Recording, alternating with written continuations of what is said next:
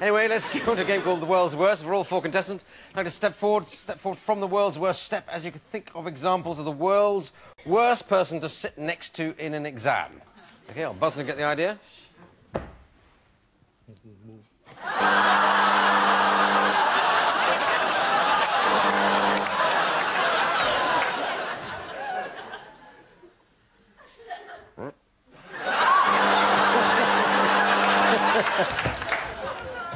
Question four. what is... What...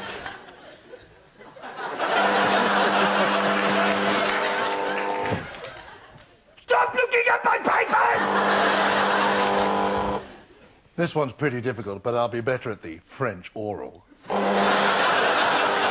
I'll never pass this test. Yes, you will. No, I won't.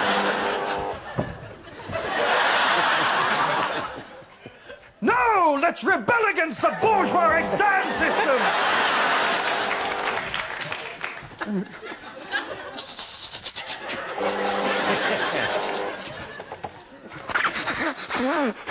Sit next to me.